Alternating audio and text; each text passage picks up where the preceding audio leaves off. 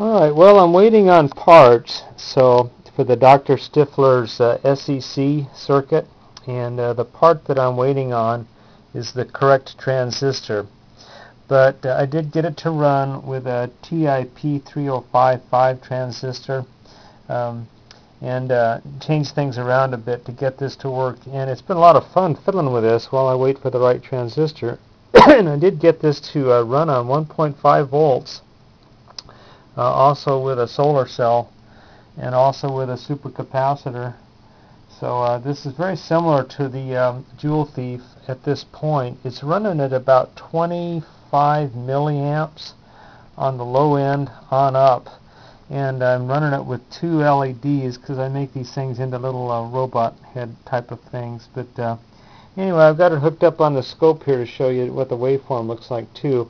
Very interesting. I've had a lot of fun with this, but I did the inductor different than was called for. I actually mounted, I believe this is uh, L3 or L2 right there. It's it's the tunable inductor this is L1, L2, and I believe this is what they call L3 on the circuit.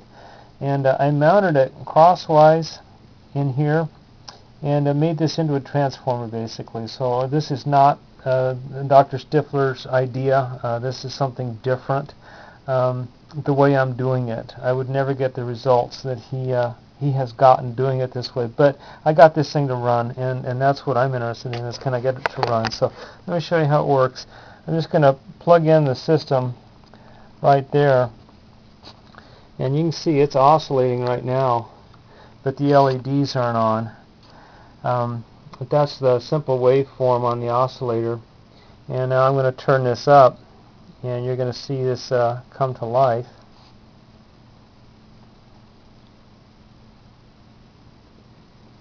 As I put the inductor in watch this this will come there go the eyes and there go the uh, the waveform that we're looking for right there. And that's the high spike um, scenario that, that we look for on these circuits and right now it is running on uh, one AA battery right here and you can see the LEDs are lit up and I can make them brighter by increasing this or dimmer actually there they go bright that way dimmer this way. And I'm doing that with a 25 ohm rheostat. It's just a plain old wire wound um, dimmer switch like you'd find in your car. Radio Shack sells them for a few bucks. And I use this in a lot of my experiments to adjust the input um, power to a circuit. Uh, they don't handle a lot of power, but they do work on something small like this. But look at the waveform as I adjust this. You see how it goes up and down. Very interesting waveform, different than the Joule Thief.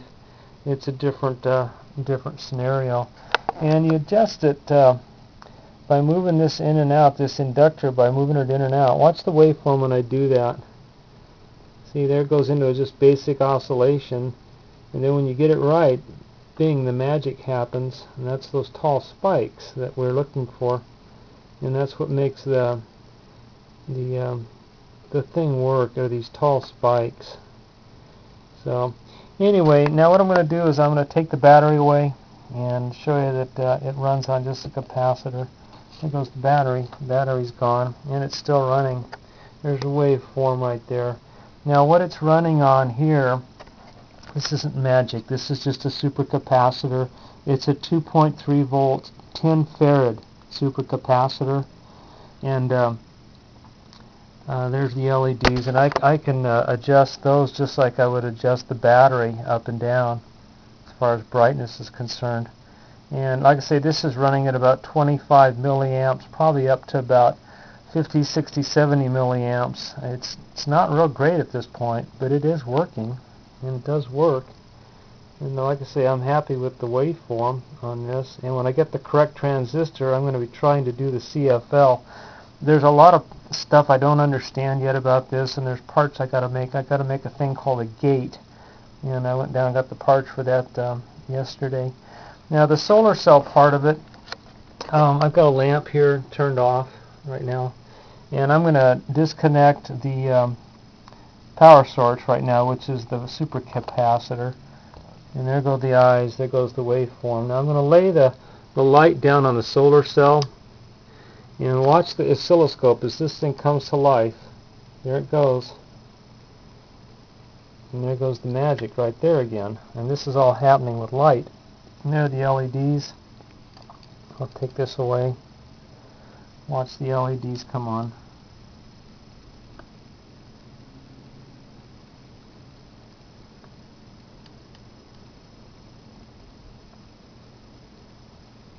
and watch this waveform. This is just like the Joule Thief, and this just starts up rather soon. It's just you're not seeing it on the LEDs, but this is running at this point. And then uh, as this gets to the point where the magic starts, right there is when the LEDs actually come on. They start doing their thing, the diodes. So that's real interesting. Anyway, I had a lot of fun with this, especially um, using the solar panel with the with the supercapacitor. And this supercapacitor idea, I really like this because they don't wear out. You know, they just um, you just charge them up, you zap them with a battery, or put the solar cell on them, and uh, there they go again. And um, I've got uh, my little um, robot joule thieves, uh, Huey, Dewey, and Louie. A couple of them are running on these supercapacitors, and and I really like them a lot. But that's the latest. This is the Dr. Stiffler SEC, and it's uh, my variation on on the uh, circuit.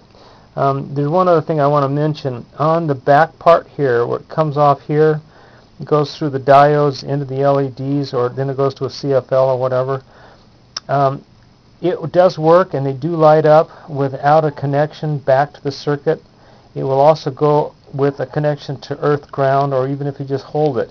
Now I have connected this back to the negative rail. And when you do that, actually the amp draw goes down and the LED brightness goes up, at least on this circuit. So I just wanted to mention that, that uh, you can do that on, on at least this thing that I built here.